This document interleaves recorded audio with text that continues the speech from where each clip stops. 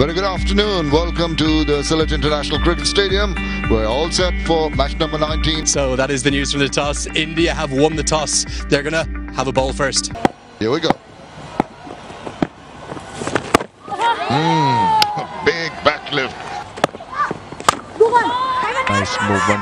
Going for that length delivery which is stuck down the ground for four. About that strike? That has gone just over. Oh, yeah. Get low. This one comes off the leading edge. This is going to fall just out of reach. Oh. This is going to be tight. The dive comes in, has the dive. gone. I thought so. My decision is out. I And it's cleaned her up. Plenty of contenders for that. We've seen really good bowling performances in particular, haven't we?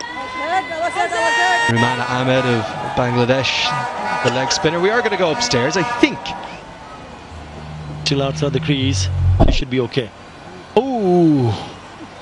Oh. No, she's not.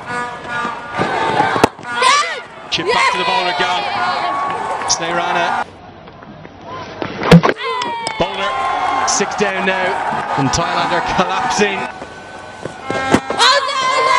McCrafter, big appeal. You will. Oh, this has to be out. This has to be out. Yes, it is. New batter in Thipatcha Putthawong. Nice, like that, just to the pitch of that ball. Lovely timing, wonderful placement, and four. Oh, catches the call, and it's taken. Oh, up in the air, cries of catch it, simply lobbing into the safe hands. So the target for India has just the 38 runs, and they've got lots and lots of balls to go and get them.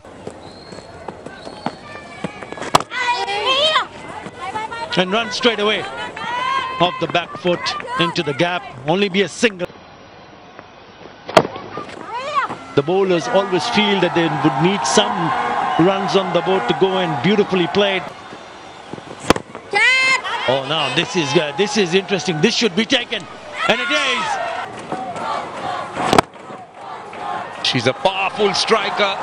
And this time it's her turn. It's going to be a rapid end, isn't it? This time she takes the aerial route. It's a very good stroke. They're one hit away now, India. And that's going to be that. A very, very comfortable, a very confident and emphatic victory. India, only one word for them today. They have been ruthless.